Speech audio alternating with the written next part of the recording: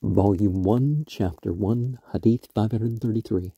Narrated Abu Musa, the Prophet said, The example of the Muslimin, Jews, and Christians is like the example of a man who employed laborers to work for him from morning till night. They worked till midday, and they said, We are not in need of your reward. So the man employed another batch and said to them, Complete the rest of the day, and yours will be the wages I'd fixed for the first batch.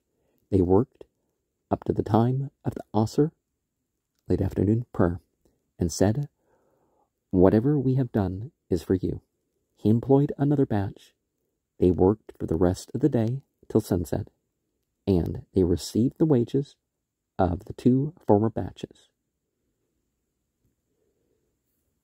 Well, one of the things about that is that yes, you can work beyond the ideas of reward and punishment. But one of the things is see, the Muslimin at least keep the title, at least keep the scripture. Um, they don't look at, you know, okay, people do try to make changes and stuff like this, but at least the main scripture and all that stuff, what's actually Islam remains. Um, people say that, oh, well, these, it's like the Christian books actually aren't listed as revealed.